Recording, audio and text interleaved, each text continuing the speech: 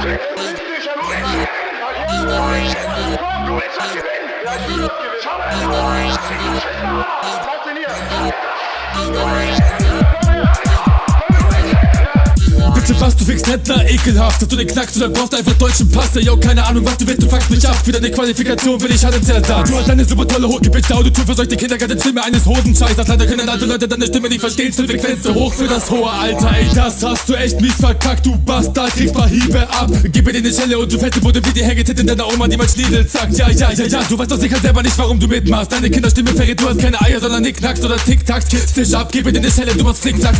Deine Mann trägt meine Pisse wie Schwipschwap. Scheiß mal auf Klicks, das Turnier ist ein Witz, ey. Keine Competition, ey. Ich mach hier nur so lange mit, bis ich mit Tode bei dem Boden gewischt hab. Warum soll man den Rentiere ficken? Was, anscheinend hab ich das Thema nicht begriffen. Ah, was soll das sein? Ich hab nur eine einzige Quali angehört und es war nicht deine.